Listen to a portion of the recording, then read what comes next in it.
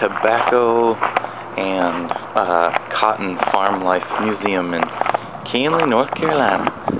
And um, I just went to the museum and got some moonshine jelly. Uh, kind of excited to try that, and now I'm going to wander around um, the farmhouses. Um, but North Carolina is very nice. I, it's kind of like northern Minnesota, but a little warmer, and um, a lot more southern people with accents.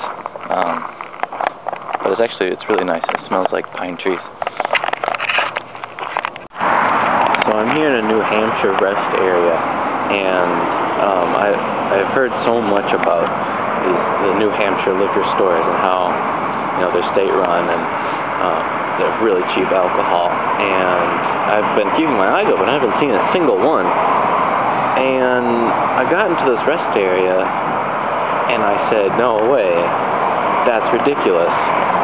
Because New Hampshire has made the ultimate rest area because what they've done is right next to the facilities, the bathrooms and the vending machines open 24 hours, is this enormous liquor store with insanely cheap liquor in it.